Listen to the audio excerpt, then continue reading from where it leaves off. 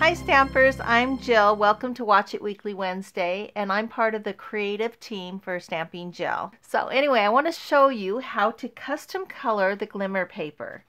And it comes with white right like this and you can see it's kind of iridescent the glitter is. These are some of our Stampin' Blends and they do really great at coloring in. I went ahead and chose Shaded Spruce and Cherry Cobbler for the colors I'm using.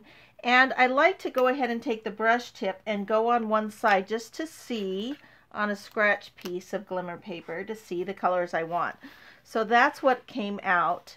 And it's more like red. So I wanted to show everybody that um, sometimes they go a little bit lighter on the glimmer paper. So you kind of want to try it out first. So I went ahead and colored this whole thing in the shaded spruce and then did the berries in the cherry cobbler. And it, it looks really a bright red when you're all done.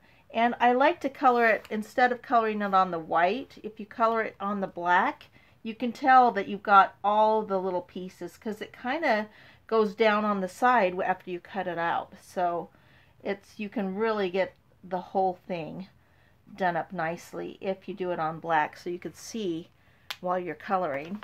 So let me show you the card I did. Here's the Merry and Bright stamp set and then the green and the red I love. So I used Garden Green and Real Red because I thought that really matched nicely. So I love the look of it and how fun and festive it is because you've got the glitter, but you custom color the glitter. I've done another die right here that's got the stars and I went ahead and used the Daffodil Dark and the Daffodil Light on these stars. So I'm doing a little baby card here. So I'm going to use the Balmy Blue and just test the colors that you like on the glitter to see which one you like. If you like the lighter or the darker. So I'm just stamping these stars all over the place. And then what I'm going to do is go ahead and take this, which was all white to begin with, and I custom colored it. You can see the back, how it kind of leaks through the back to get the colors. All right, and so let me see how I want this to go. I think I want it like this, kind of on an angle and I went ahead and popped up a couple of these stars and I went ahead and colored these with the lighter of the yellow. And so it gives it a contrast. I love the way that this came out but I'm just going to fill these in and then I'm going to add on top of that a star is born to the star because I love these stars framelits.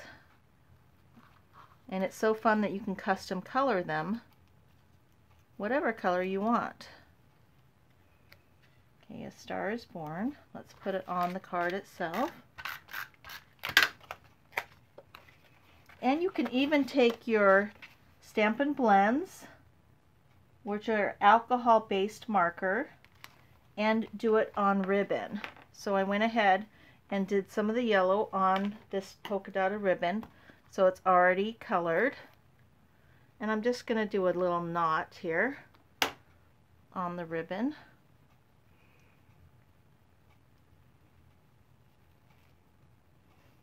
Let's go ahead and trim that a little more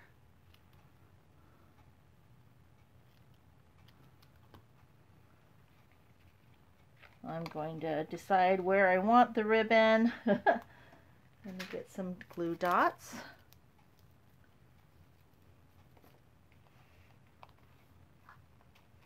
Anyway, that's fun to be able to custom color and it's it's got the same yellow as it does in the star.